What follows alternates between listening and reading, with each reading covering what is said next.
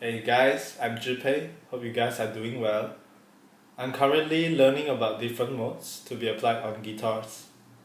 And in this particular video, I've demonstrated the use of the Lydian mode. If you guys do not know what Lydian mode is, it's simply a major scale, but with a sharpened fourth note. It gives out an adventurous and suspense sounding tone. So, hope you guys enjoy the video. And if you guys haven't subscribed already, please do. Thank you for watching and see you next time.